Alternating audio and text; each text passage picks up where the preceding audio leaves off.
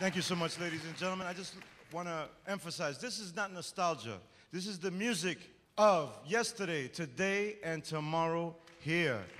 And as the great Art Blakey once said, any place where jazz is played is a sacred place. So thank you for coming to church tonight.